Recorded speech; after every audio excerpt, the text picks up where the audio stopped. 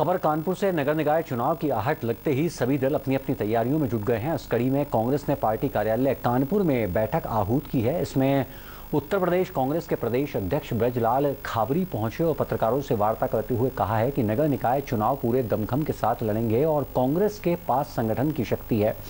उसी आधार पर जनता के पास जाएँगे, वहीं बीजेपी पर कटाक्ष करते हुए कहा है कि वो लोगों को आपस में लड़ाने का काम करती है। यह जनता समझ चुकी है।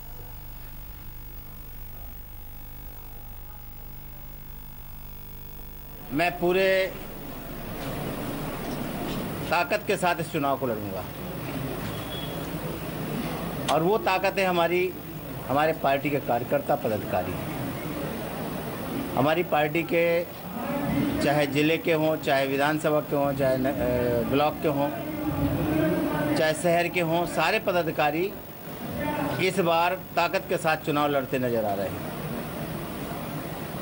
और हम हम जो है, इसी सिलसिले में आपके बीच में आए हैं।